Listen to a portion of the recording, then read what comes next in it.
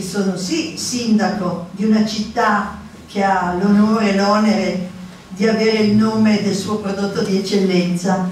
ma la competenza no. Arrivo solo ad assaggiarlo, a capire che è buono quando sono fuori a cena o anche a casa quando invito amici. Io vi do il benvenuto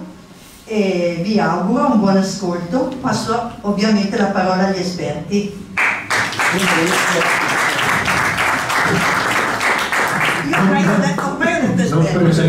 precisamente come sono esperto. No, no, anch'io ci tenevo tanto a ringraziare per la presenza perché è importante, l'orario pomeridiano del venerdì non era, non era scontata, però siamo particolarmente contenti di aver portato a Gattinara Alessandro, Alessandro Panza è un nostro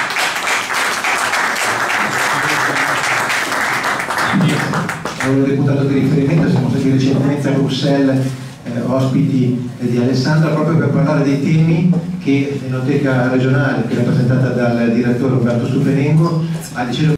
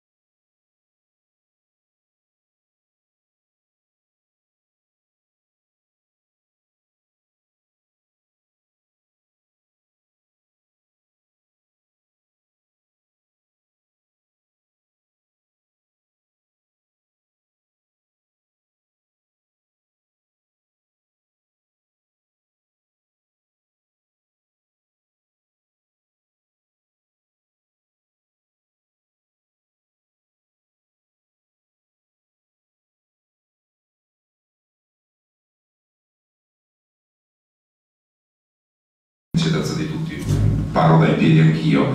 Eh, innanzitutto buonasera e grazie, grazie a Maria Vittoria per l'ospitalità, grazie Daniele, grazie alla cantina che ci ospita questa sera. Eh, questa sera parliamo di vino, ma prima di arrivare eh, diciamo un po' al, eh, al nocciolo della questione, ovvero del perché siamo un po' qui questa sera, da cosa stanno originando questa serie di incontri. Io un paio di settimane fa ero ad Asti a fare lo stesso incontro con eh, i presidenti dei consorzi eh, della Barbera, eh, dell'Asti, eh, del Barbaresco e quant'altro, perché c'è un timore ovviamente fondato che eh, venga discriminato un prodotto che per noi è fondamentale. Però uno potrebbe anche chiedersi perché si è arrivati a questo punto e perché siamo arrivati quale siamo arrivati a questo punto origina un po' dalla gestione di questa commissione eh, nata nel luglio del 2019 che trova nella sua presidente Ursula von der Leyen il riferimento diciamo, politico ma che è una commissione che ha una, eh, una struttura politica particolare perché è una commissione che ha nel suo, nella sua struttura, nella sua maggioranza eh, i verdi e la sinistra, eh, il centro, centro-sinistra del, del, Parlamento ed è infatti con questi voti che è stata, è stata eletta, quindi è la cosiddetta maggioranza Ursula che prende pezzi del Partito Popolare, pezzi del Partito Socialista, pezzi del partito dei, eh, dei cosiddetti Renew, cioè dei, eh, dei liberali che hanno creato questa grande maggioranza. Ursula von der Leyen, ormai noi che siamo qua dentro ai lavori abbiamo imparato che ha due caratteristiche fondamentalmente, anzi tre. La prima, dal quale nutre tutta la mia invidia, è avere tanti capelli ed essere sempre molto ben pettinata e laccata, ma questa è ovviamente una battuta. La seconda è quella di essere, eh, diciamo così, quella che fa gli annunci della Commissione, arriva in, arriva in Parlamento e lancia le bombe, fa degli annunci.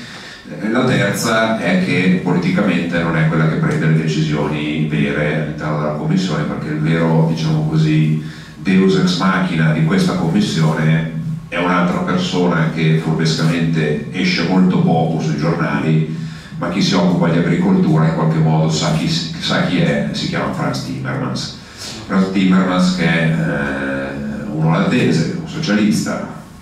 che tifa la Roma, questa cosa io non riesco a darmi pace perché un socialista olandese debba tifare la Roma, però questo, eh, questo è. Eh, peraltro parla molto bene l'italiano, conosce molto bene il nostro paese, motivo per cui ci chiediamo perché gli stiamo così tanto sulle palle, perché sembra fatto apposta che ogni provvedimento che arriva da questa commissione e che ha un po' il suo bollino eh, vada inevitabilmente a penalizzare il nostro paese. Eh, l'ultimo nell'ordine di tempo è quella sull'efficientamento degli edifici, eh, c'è la direttiva che prevede la messa al bando del motore termico entro il 2035, che sono tutte direttive che in qualche modo colpiscono maggiormente il nostro paese rispetto, eh, rispetto ad altri. Perché, perché, c'è il pericolo dell'etichetta del vino, vi dicevo, perché è partito già nel 2019, eh, la filosofia su quale si è basata questa commissione è stata una filosofia basata molto sulla transizione ecologica, sulla transizione ecologica che poi doveva portarsi dietro tutta una serie di, di politiche eh, di, per sostanzialmente raggiungere gli obiettivi altisonanti che la Commissione ciclicamente si dà. Si era partiti, qualcuno di voi magari se lo ricorda, eh, all'inizio degli anni 2000 con la strategia 2020, cioè ridurre del 20% le emissioni entro il 2020 rispetto al 1990, obiettivo mancato clamorosamente. La Commissione, forte di questo completo mancamento dell'obiettivo, non ha posto degli obiettivi più razionali, più facilmente raggiungibili, no, ha messo degli obiettivi ancora più alti, quindi siamo arrivati a eh, porre nel 2019, eh, attenzione 2019 quindi vuol dire pre-pandemia e soprattutto pre-guerra, l'obiettivo della neutralità climatica, cioè di fare tante emissioni quante quelle che siamo in grado in qualche modo di assorbire, quindi con un abbattimento di raggiungere questo obiettivo sostanzialmente entro il 2055. Per fare questo è nata la strategia Fit for 55, quindi prepararsi per il 55. Questo cosa vuol dire? Questo vuol dire eh, che devono, devono, essere messe in campo tutta una serie di provvedimenti, tutta una serie di normative, tutta una serie di, eh, di idee che vadano in qualche modo a ridurre la nostra eh, quantità di emissioni di CO2 a livello europeo. Ora, nessuno ha mai messo in discussione il fine, perché il fine di avere un mondo più sostenibile, di avere un'aria più pulita, eh, un mondo meno inquinato dove si, consuma, si consumano meno risorse e si consumano meglio che ci danno la possibilità di avere eh, una prospettiva per i nostri figli di più lungo periodo è sicuramente qualcosa eh, a cui tutti penso eh, abbiamo quotidianamente. Non penso che ci sia qualcuno di voi che ha piacere eh, a buttare i rifiuti per strada eh, senza fare la raccolta differenziata piuttosto che a stare con eh, il motore in folle e l'acceleratore schiacciato per un quarto d'ora così giusto perché gli piace sentire il rumore. È ovvio che però per arrivare ad avere questa sostenibilità non possiamo farlo a discapito delle produzioni delle aziende e soprattutto delle aziende europee. Perché vi dico questo? Perché proprio nell'ottica di questa strategia stanno arrivando tutta questa serie di provvedimenti, uno di quelli di cui si sta, si sta, parlando molto in queste ore, ormai non c'è eh, approfondimento che, o, o, giornale quotidiano che ne tratti, è appunto il tema, il tema dell'auto che il governo italiano, con, orgogliosamente posso dire con una grande pressione del nostro partito della Lega sia a livello europeo che a livello nazionale, è riuscita per il momento a eh, buttare la palla in avanti eh, rispetto a una decisione che ormai sembrava, sembrava presa ovvero la decisione di, appunto come dicevo prima, di vietare la vendita dei, di automobili con motore endotermico a partire dal 2035. Certo uno potrebbe dire 2035, eh, voglio 2035. Il problema è che per una casa produttrice di automobili che mediamente per mettere a terra una linea di produzione di un veicolo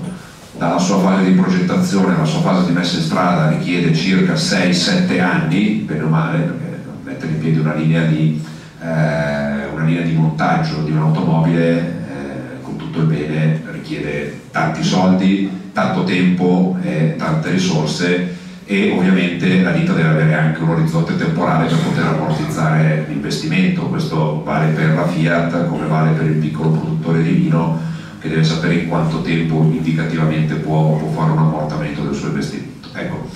arrivare al 2035 significa che sostanzialmente le case di produzione hanno smesso di investire sul motore termico e perché questo per noi è un problema perché un'auto con motore termico ha indicativamente il 30-35% di componentistica in meno rispetto a un'auto con motore elettrico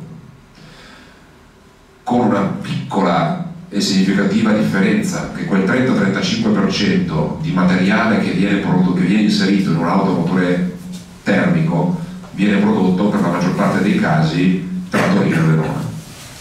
Perché vuol dire produrre connettori, valvole, tubi, eh, eccetera, eccetera, tutta una serie di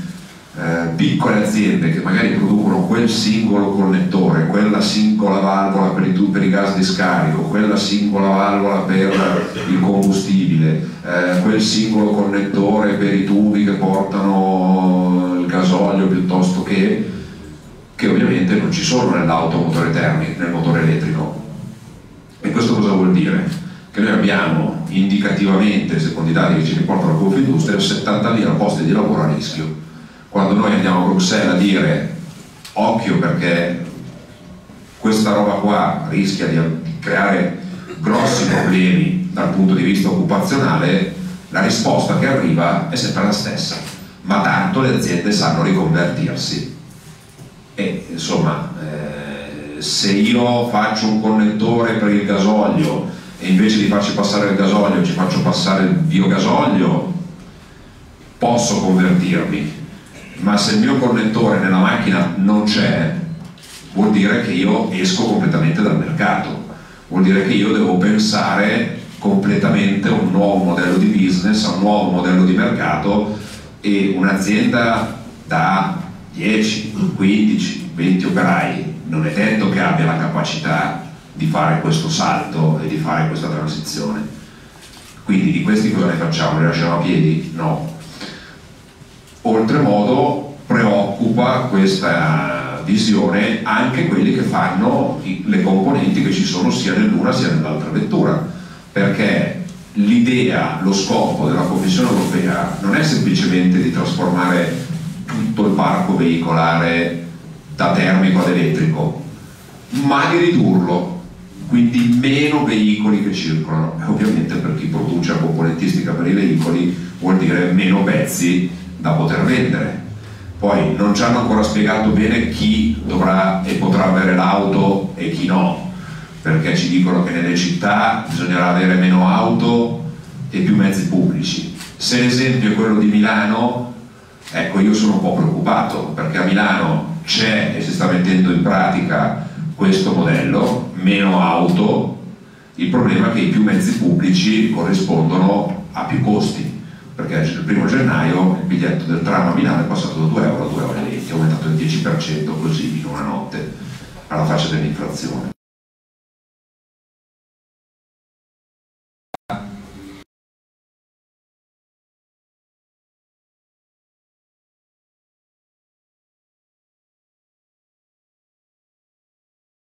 basso costo, deve essere gratuito, perché se tu mi impedisci di usare la macchina mi devi garantire di potermi spostare liberamente in città a qualsiasi, a qualsiasi ora, prima di tutto, e gratuitamente. Ecco, Milano, oltre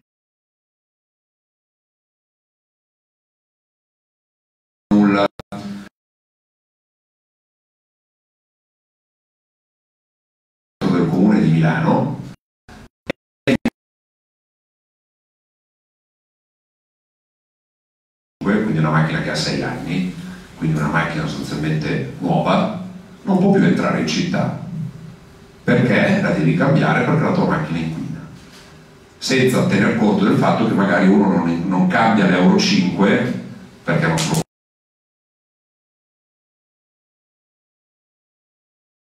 e non ha la possibilità di cambiare la macchina ogni 5 anni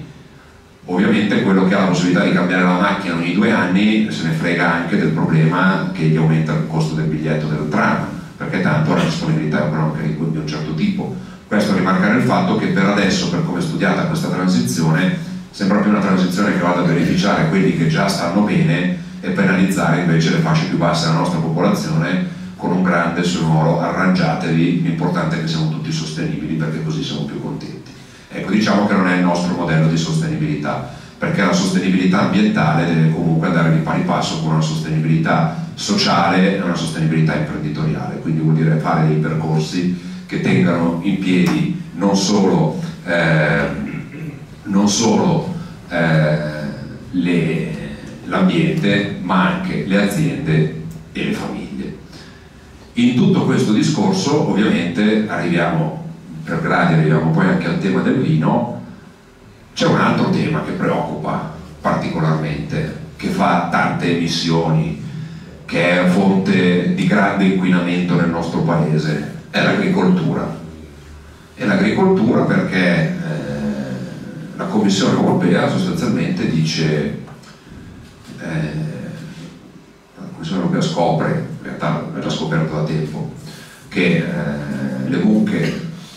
purtroppo tutti i giorni fanno la cacca e la cacca delle mucche emette azoto e quindi inquina. Quindi qual è il problema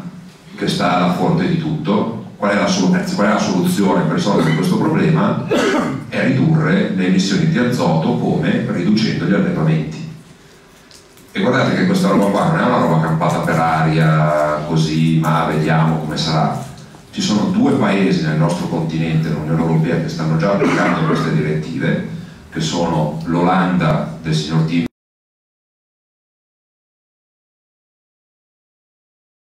magari ne ha sentito parlare sui media nazionali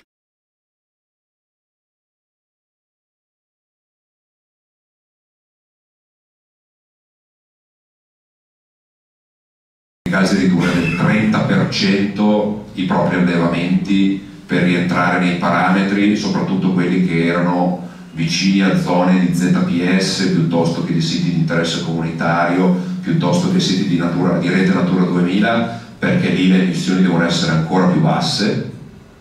E la stessa cosa sta succedendo in Belgio dove il governo sta sostanzialmente implodendo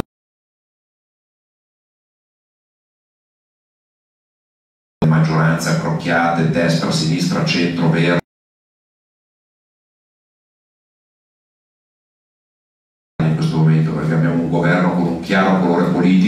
di centrodestra con una chiara maggioranza che va avanti e prende decisioni di un colore politico, poi a qualcuno potrà non piacere per carità, però non ci sono più maggioranze eterogenee che poi inevitabilmente portano a queste contraddizioni. Vi dicevo, in Belgio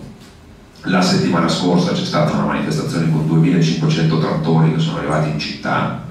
proprio per protestare contro questa direttiva sulle emissioni di azoto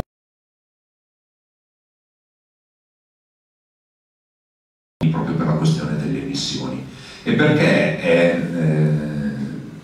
è ancora più grottesca la cosa perché mentre da una parte la Commissione ci dice che l'agricoltura fa male perché fa le emissioni di azoto, dall'altra finanzia i programmi di ricerca per la carne sintetica.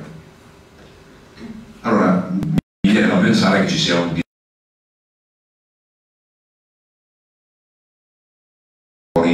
sembra veramente che ci sia un disegno molto ben preciso che sta alla base di tutto. Eh, io non voglio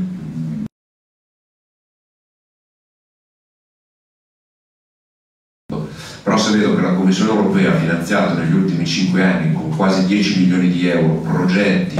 per la carne. E attenzione qui arriviamo all'orwelliano coltivata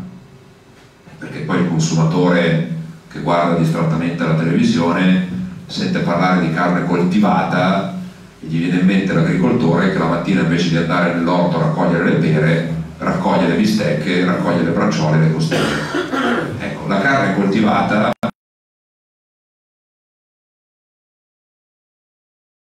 l'embrione fetale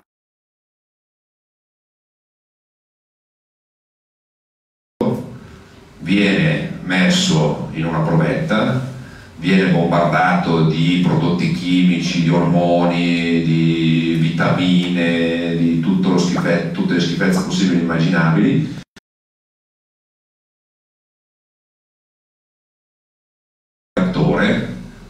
e sostanzialmente poi diventa qualcosa che assomiglia eh, alla carne. O, se uno poi va a vedere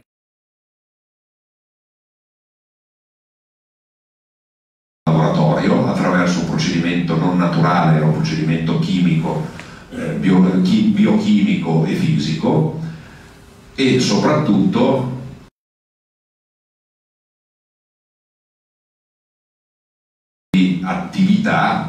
servono milioni di euro, servono laboratori, serve ricerca e il contadino non serve più.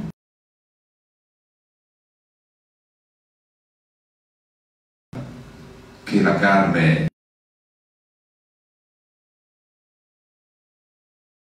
non è carne, già chiamarla carne è un abominio, quella roba lì che esce da un bioreattore, a differenza, che ne so, della fassona piuttosto eh, che di altre qualità di carne che sono nel nostro paese, avrà una piccola R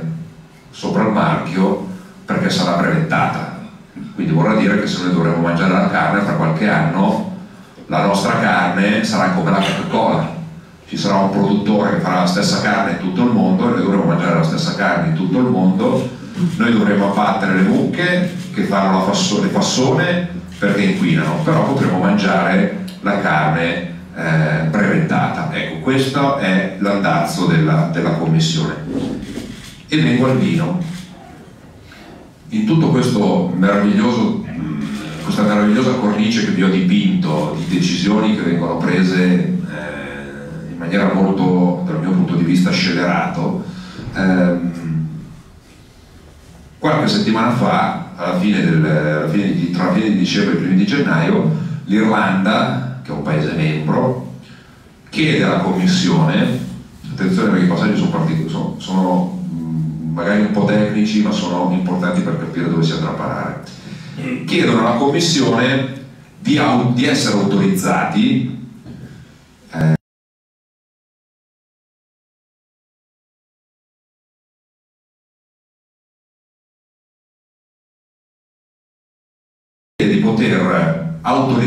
di essere autorizzata l'Irlanda a mettere su tutte le bottiglie di alcolici, ivi compreso il vino, le diciture nuoce gravemente alla salute sulla falsa riga di quello che avviene per le sigarette. Ovviamente l'Irlanda, perché l'Irlanda? Eh, perché l'Irlanda ha dei seri problemi di alcolismo, l'Irlanda ha il 70% delle persone che bevono in maniera sostanziale, consumano in maniera sostanziale alcol, hanno problemi di alcolismo soprattutto giovanile, l'età media per l'inizio del consumo di alcol in Irlanda è 13 anni. 13 anni, io ho un figlio di 11 anni che eh, ancora adesso quando apro la bottiglietta di birra a casa la sera sente l'odore e dice ma che schifo, in Irlanda l'età media è 13 anni, darvi l'idea. Per risolvere il loro problema loro chiedono alla Commissione di poter derogare a questa situazione e la Commissione dice di sì. Ora, non è tanto un problema che la Commissione abbia detto di sì. Il problema è che eh, creare questo precedente a livello interno, a livello europeo, siccome sta arrivando e arriverà nelle prossime settimane la proposta della Commissione sulla nuova etichettatura dei cibi, la preoccupazione che abbiamo noi e che abbiamo condiviso anche con le associazioni di categoria è proprio che questa dicitura diventi sostanzialmente la normalità. Perché questo è un pericolo? Beh, insomma, è, è abbastanza evidente. Nel nostro paese c'è una consapevolezza di quello che si beve e di quello che si mangia. In altri paesi no, quindi magari se io mi trovo il vino eh, dealcolizzato, eh, dealcolato scusate, che produce sempre la multinazionale che magari in un capannone fa le bistecche, per così dire, e nell'altra fa il vino dealcolato eh, perché lo chiamano vino senza alcol, che io sapevo che il vino senza alcol era succo d'uva, perché nel vino non ci sono ingredienti, nel vino c'è l'uva, punto, poi ci sono dei produttori magari poi mi correggono sicuro delle sciocchezze, però eh, io sapevo che il vino era fatto così, eh, il vino dealcolato non ho idea di come possa essere fatto, se non con qualche diavoleria chimica e, e qualche eh, passaggio che nulla ha a che fare con il. Però andando ad influenzare quei consumatori, soprattutto fuori dal nostro paese, ma il nostro paese vale anche la Francia, negli ultimi anni anche la Spagna, che, stanno, che si sta eh, costituendo una tradizione vitivinicola di un certo tipo, al di fuori di questi paesi ovviamente il mercato sarebbe assolutamente eh, messo in discussione proprio da questi prodotti che nulla hanno a che fare hanno a che fare con il vino e quindi noi ci siamo un attimino allarmati e abbiamo iniziato a fare tutta una serie di, eh, di azioni, di interrogazioni, di, di, di, manifestazioni in certo senso anche a livello parlamentare per ribadire che su questo tema al pari delle auto non transigeremo. Perché siamo tutti d'accordo su fare una comunicazione di consapevolezza del consumo di alcolici perché il fatto di essere contrari a una dicitura così eh, tranchant sul vino, sull'alcol, non significa che non si tenga conto delle problematiche che ci sono anche nel nostro paese sull'abuso dell'utilizzo degli alcolici e che purtroppo porta con sé conseguenze sanitarie, porta con sé conseguenze sociali, porta con sé conseguenze di sicurezza, penso eh, purtroppo a quello che succede ancora troppo spesso sulle nostre strade ogni sabato sera, soprattutto con i giovani, ma proprio per questo invece di mettere un'etichetta che va a dare delle indicazioni fuorvianti al consumatore, dal nostro punto di vista sarebbe meglio investire in comunicazione e formazione e informazione nei confronti del consumatore al fine di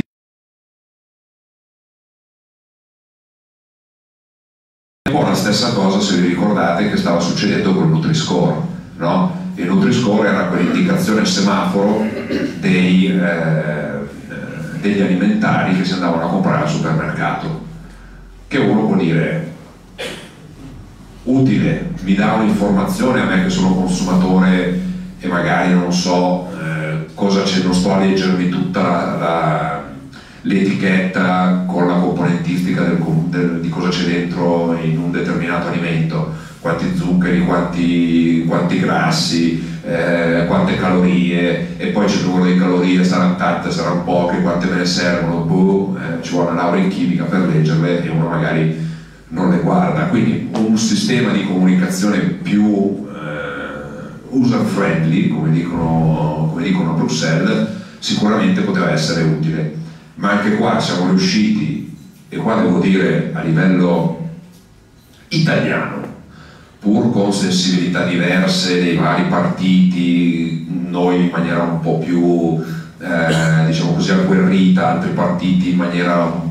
po' più, diciamo, passatemi il termine diplomatico, diciamo, un po' più possibilista, ecco, mettiamola così, però siamo riusciti a eh, stoppare insieme ad altri paesi la proposta della Commissione che portava avanti il Nutri-Score. Perché ci siamo messi di traverso? Perché non dava un'informazione al consumatore, dava delle indicazioni al consumatore, cioè lo induceva a scegliere determinati prodotti rispetto ad altri, perché il Nutri-Score si basava su un algoritmo che eh, su un'equazione che teneva in conto il numero di eh, grassi, di sali e di zuccheri, dove ovviamente non teneva conto dei processi produttivi e soprattutto della quantità consumata. E quindi noi ci si, ci si trova, eh, non so se poi tu quando sei stato a Bruxelles sei andato a vederlo, se hai avuto modo di, di confrontare personalmente questo tema, però chi è stato a Bruxelles io ho invitato a vederlo, visto che la Francia in qualche modo già lo, alcune catene supermercati lo applicano, Belgio e Olanda, perché loro sono sempre i primi ad applicare qualsiasi roba che gli manda l'Unione Europea, sono sempre i primi e ci va anche bene perché così tocchiamo con mano i disastri che arrivano, hanno implementato nella loro catena di distribuzione questo, questo sistema e tu vai al supermercato a Bruxelles e ti trovi che la Coca-Cola zero, siccome non ha zucchero, nell'equazione se tu metti zero, il risultato per la fine ti viene zero. Quindi tu ti trovi la Coca-Cola zero che è una A verde, quindi un consumatore inconsapevole la trova come un prodotto eh, buono per la propria salute e tu vai a comprare il quadrotto di parmigiano reggiano, quello che trovi all'estero, all'estero trovi le monoporzioni, quelle per fare la merenda dai bambini, che sono 80 grammi, 70 grammi di parmigiano reggiano fatto nella stagnola, che ha la lettera D. Quindi il consumatore inconsapevole cosa fa? Al proprio figlio dà la Coca-Cola zero, le patatine fritte del sacchetto che hanno la lettera C, tutte, io le ho guardate tutte, con la paprika, senza paprika, fritte, non fritte, cotte, non cotte, tutta la lettera C. Il parmigiano reggiano ha tutta la lettera D. Il prosciutto di Parma ha la lettera D.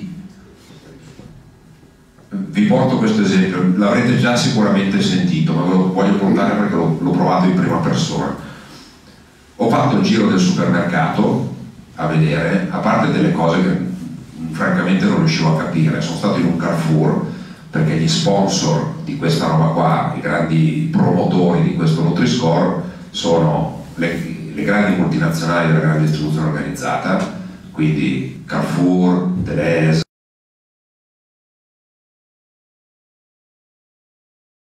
l'industria della chimica tedesca,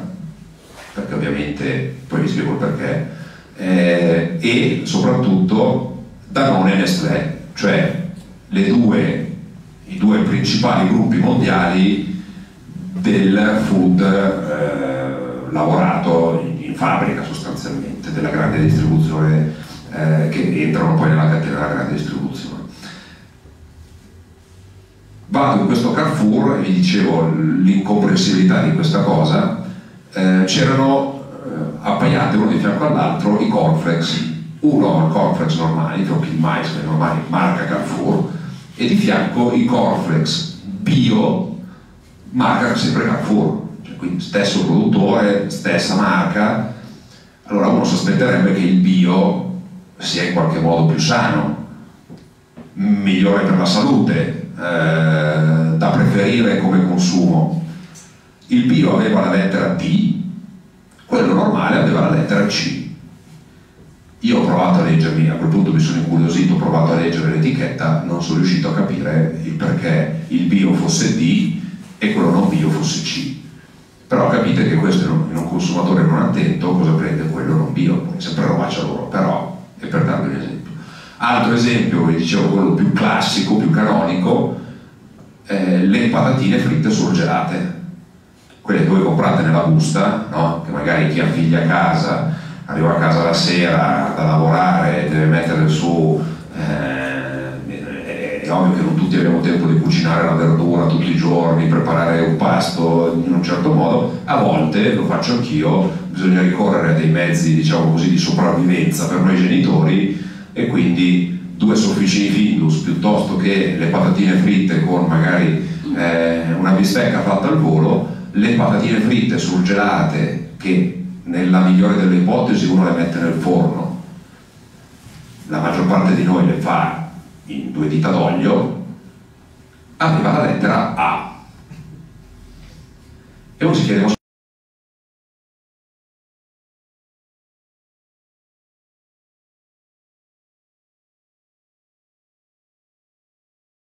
Ecco, questo è per darvi l'idea di come poi queste eh, indicazioni che ci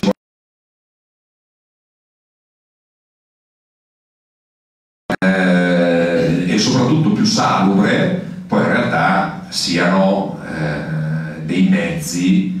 eh, diciamo così, anche un po' gretti di influenzare il consumatore.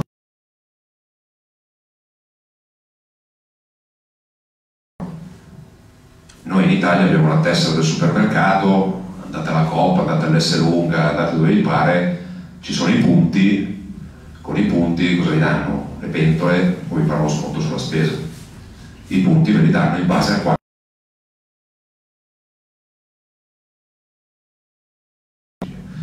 lì no, non danno più i punti in base a quanto spendete, vi danno i punti in base a quanti prodotti A e B, con Nutri-Score A e B, voi comprate. E guarda caso, quando tu vai nel banco del frigo, nei banchi frigo e trovi tutti i prodotti semi lavorati industrialmente, roba precotta, roba che uno da noi non darebbe neanche al cane, hanno tutti dei valori di Nutri-Score stranamente molto basso. Se non è la A, è la B. Ho trovato un vasetto di salsa al curry eh, con dentro una fila di roba eh, coloranti, aromi naturali, eccetera, eccetera, emulsionanti, conservanti, eccetera, eccetera, eccetera, che aveva una fantastica lettera C e di fianco c'era un vasetto di pesto genovese che nel pesto genovese anche fatto industrialmente c'è dentro basilico, aglio, pecorino e un po' d'olio. Mettici un conservante, però aveva la lettera D. Quindi voi capite, ripeto, nel nostro paese non è un grande problema perché noi abbiamo una consapevolezza di cosa vuol dire mangiare bene, di scegliere un prodotto di un certo tipo rispetto a una porcheria fatta a livello industriale. Anche se si sta un po' perdendo, devo dire la verità, però c'è una base culturale di un certo tipo. Ma nel nord Europa, dove hanno patate e cavoli, cosa volete che ne sappiano di che cosa vuol dire mangiare bene? Quindi mi viene, in mente che sia anche una questione di invidia nei nostri confronti, che abbiamo un clima meraviglioso, una terra splendida e sappiamo mangiare meglio di tutti gli altri a livello mondiale. La dieta mediterranea è stata dichiarata patrimonio dell'UNESCO, più di così cosa dobbiamo fare? Eppure si va verso un attacco deliberato verso quella che è una nostra grande prerogativa. Quindi questo è un po' il quadro nel, nel, quale ci muoviamo. Anche qui noi abbiamo proposto, fatto una proposta, perché poi sembra che siamo là solo a dire di no, che fa schifo tutto. No, siamo là a cercare anche di dare delle proposte alternative. Abbiamo fatto la proposta di fare un'indicazione piramidale, cioè di mettere dei cartelli all'interno dei supermercati informando il consumatore, non semplicemente blandendo il consumatore o fuorviando le scelte del consumatore. Spiegato al consumatore che eh, le torte, le merendine, quella roba lì, un po' meno in cima alla piramide alimentare. Eh,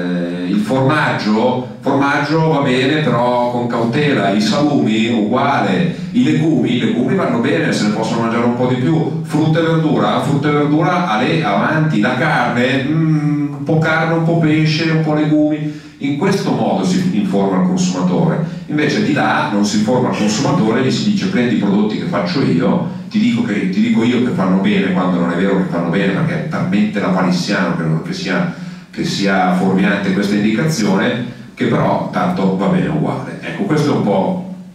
è un po il, eh, il, contesto. Quindi le minacce, si parlava di minacce, eh, sono reali, sono concrete. Noi in questo momento stiamo lavorando per portare,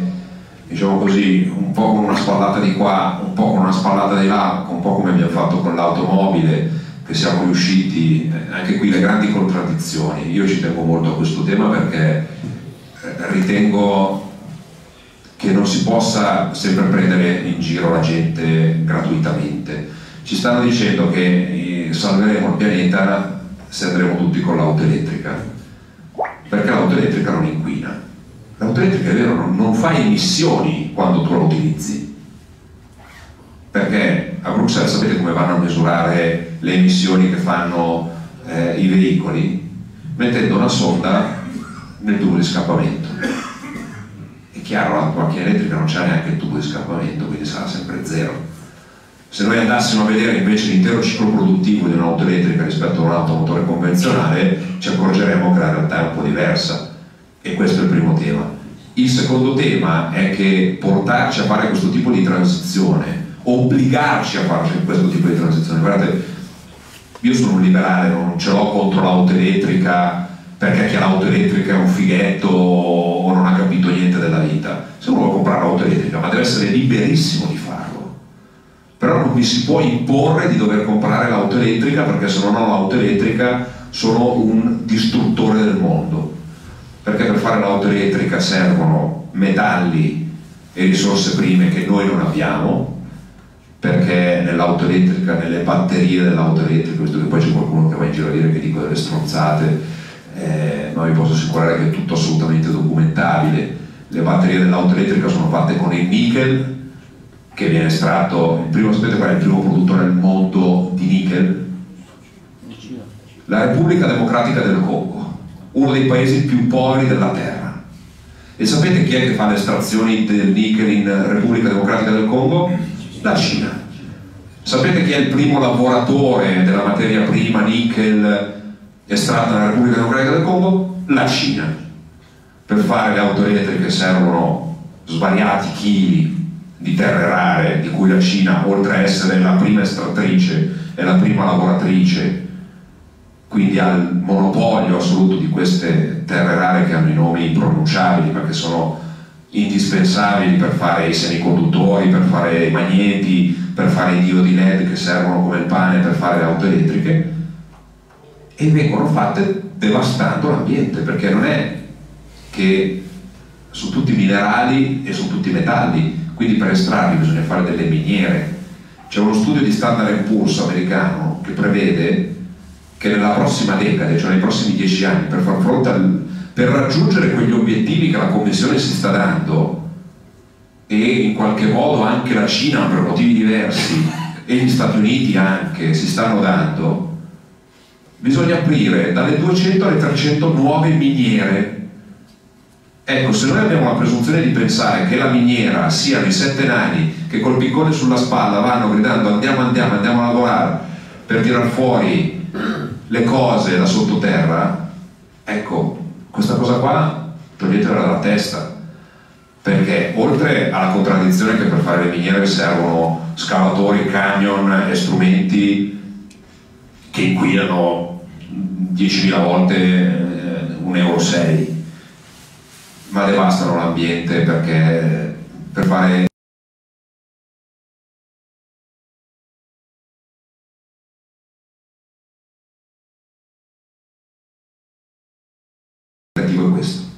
Quindi noi andiamo a devastare l'ambiente scavando. C'è anche un problema sociale perché spesso queste, queste miniere vengono fatte dove ci sono dei, dei villaggi, delle popolazioni, come succede in Cina, cosa fanno? Fosse, fosse in Europa, cavallo in Cina ovviamente arrivano, scavano anche quelli della, del villaggio e chi si è visto si è visto, perché non hanno grossi problemi da quel punto di vista lì. Ci sono problemi ambientali, perché poi ovviamente la lavorazione di questi metalli richiede passaggi chimici che sono devastanti e poi la chimica che viene utilizzata va nel, va nel sottosuolo o peggio va in mare. E poi c'è il tema del riciclo, visto che mi è stato detto che il problema delle terre rare si risolve riciclando, Ecco, sapete qual è la percentuale? Sono dati che riportano le Nazioni Unite, non le dico io. La percentuale di riciclo del litio attuale? L'1%. Per 100 kg di litio che io utilizzo per le batterie, ne recupero un chilo.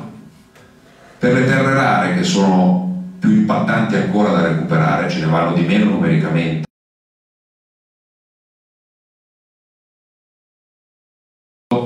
dell'1%. Quindi a me sta bene andare verso una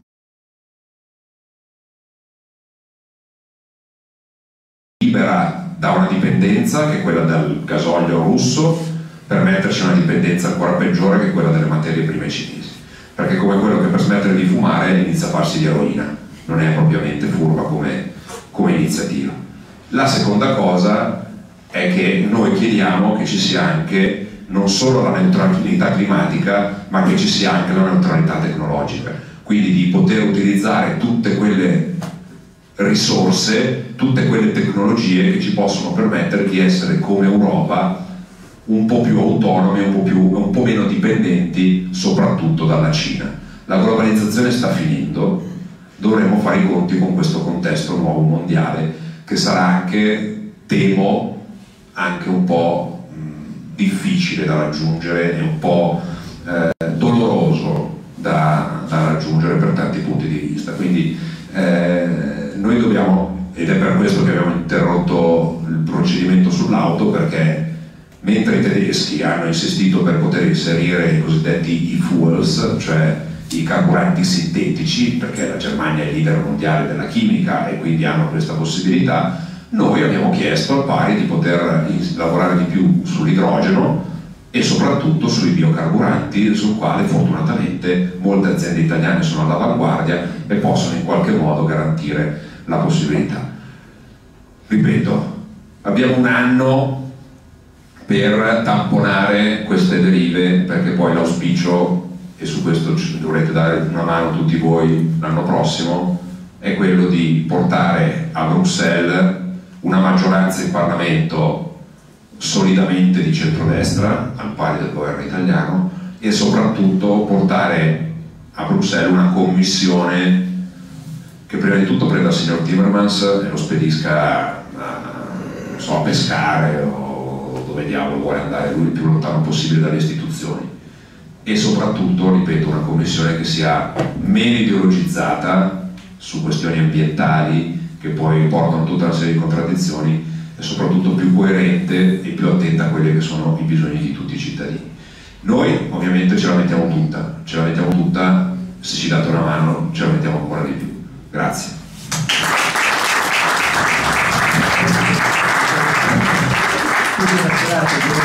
Delle perché per fortuna per le etichette ancora senza Nutri-Score e senza altre problematiche, anche perché il vino è sano. Buonasera a tutti.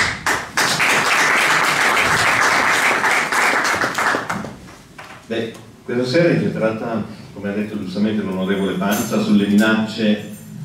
al vino ma anche tutto all'agroalimentare italiano.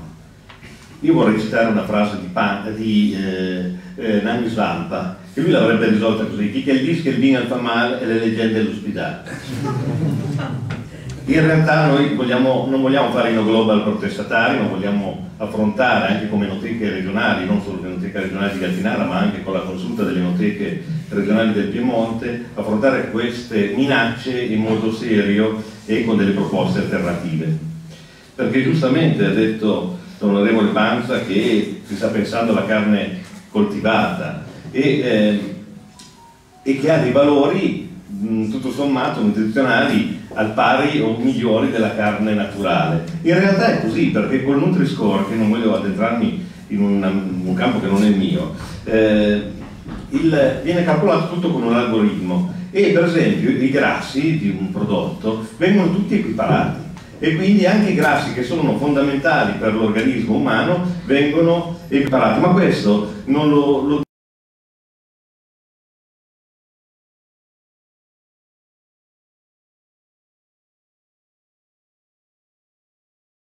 perfetto, anzi ha molte lacune. Non è studiato dai francesi, è studiato da un francese, un francese il professor Eckberg, che è stato smentito dal suo stesso governo, peraltro. Esatto. E Legrand appunto ha, ha, fatto notare che ci sono profonde lacune in questo sistema, perché per esempio, come diceva giustamente l'onorevole, il parmigiano reggiano che ha molti grassi, come tanti prodotti nostri italiani, eh, vengono equiparati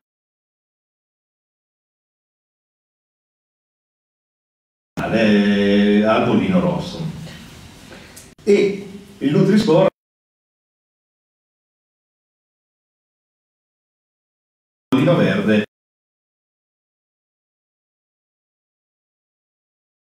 introdurre un'altra lettera, che è la lettera F, e il bollino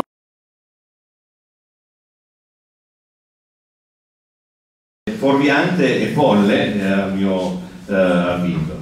Così come ehm, non se ne parla tantissimo, ma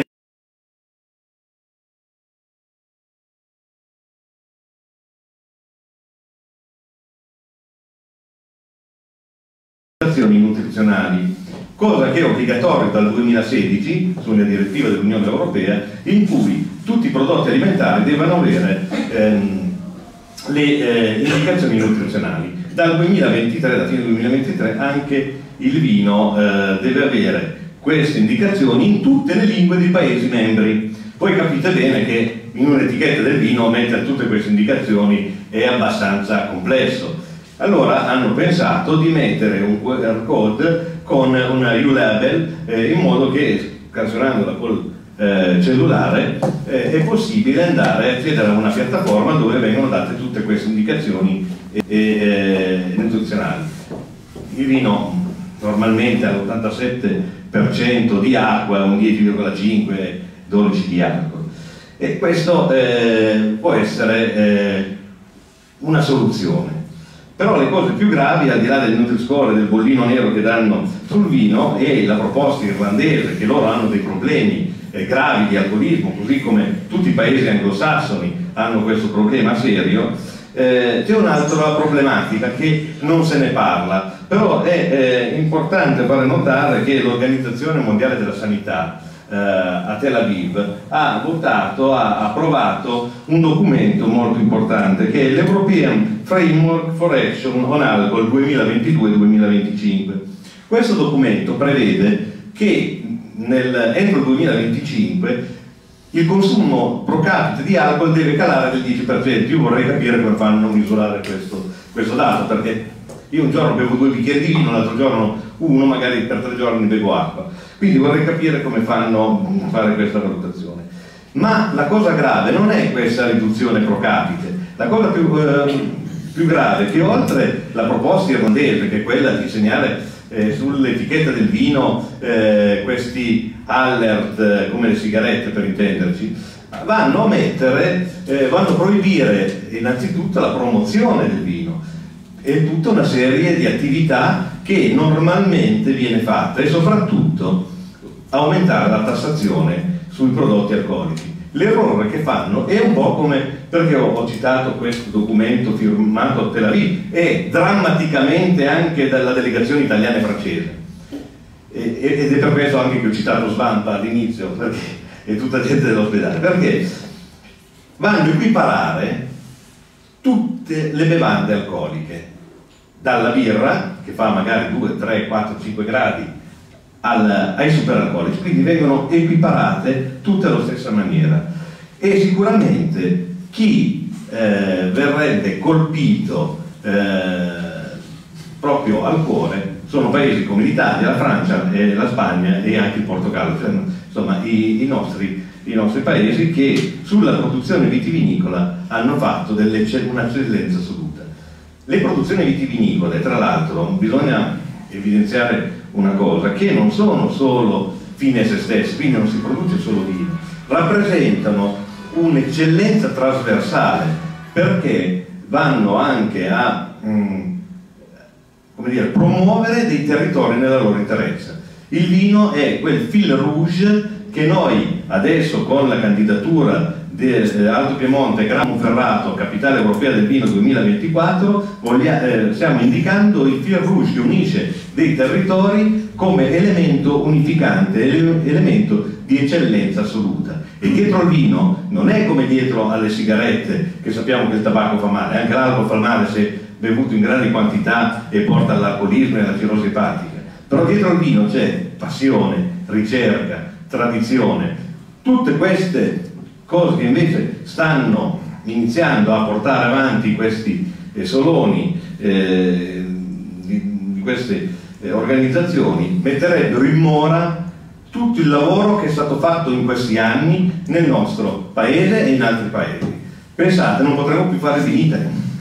non potremmo più fare il Salone del Vino. E io il Salone del Vino a Torino, che sono stato nei tre giorni del, dell'ultimo weekend, eh, come enoteca regionale che abbiamo rappresentato l'Alto Piemonte, c'era molto interesse, molti giovani, ma che erano interessati in modo consapevole, cioè chiedevano, si informavano. Ed ecco qui, proprio sabato, ho parlato con l'assessore all'agricoltura della regione Piemonte, eh, a nome, mi sono fatto un po' portavoce anche di altre enoteche regionali, dicendo, è vero, eh, questi, ci sono queste minacce, perché l'avevo invitato a partecipare a questa eh, questa mm, conferenza, però non poteva esserci perché aveva un altro impegno e eh, ho detto è vero che ci sono queste minacce, però cerchiamo di affrontarle, ripeto, non facendo il nuovo protestatario, ma portando delle proposte e un confronto costruttivo. La proposta che eh, avremmo fatto noi come eh, mh, mm, coordinamento delle noteche regionali all'assessore eh, regionale che vorremmo portare all'assessorato eh, regionale dell'agricoltura che poi si facesse portavoce al Ministero delle Politiche Agricole è proprio quello di dire non mettiamo bollini neri che non hanno senso e poi abbiamo visto che gli algoritmi sono un po' falsati ma andiamo a mettere un QR code che è meglio che scritto nuoce gravemente alla salute dove spieghiamo quello che c'è dietro al mondo del vino, dove spieghiamo non solo i valori nutrizionali che è abbastanza complesso per il mondo del vino che di anno in anno o di annata in annata possono cambiare, ma andiamo a spiegare tutto quello che c'è dietro al mondo del vino e soprattutto la grande eccellenza culturale millenaria che c'è dietro questo prodotto che è un valore di eccellenza assoluta. Io non voglio dilungarmi, vi invito nell'altra, nell stanza, abbiamo un piccolo aperitivo, eh, visto che l'ora è tarda, se volete... Eh, lascio ancora la parola per la chiusura e vi ringrazio.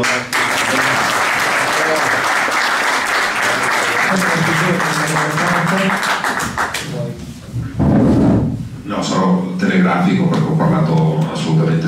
mi sono reso conto, scusate, troppo prima, eh, però sono tanti temi da dover affrontare ed era giusto toccarli. Torni a trovarci. Ah, questo sicuramente, questo sicuramente. Eh, guardate, volevo chiudere con questa cosa qua, non prendetemi per, per blasfemo, ma nel Vangelo durante l'ultima cena Gesù usa il vino per fare l'Eucarestia, non usa la Coca-Cola o qualcos'altro. Ma questo, ripeto, non per essere blasfemo, proprio per rimarcare come il vino faccia parte del nostro patrimonio culturale, giustamente diceva che mi ha preceduto, millenario. E mi urta un po' che ci sia un burocrate a Bruxelles che mi voglia insegnare che millenni della mia cultura valgono zero perché hanno deciso che fa male. Ecco, questa è una cosa su cui dobbiamo combattere tutti insieme, perché non è una battaglia di un colore politico, è una battaglia culturale che deve difendere il nostro paese e tutti gli altri paesi che, fanno, che condividono questo percorso insieme a noi. E adesso andiamo. Per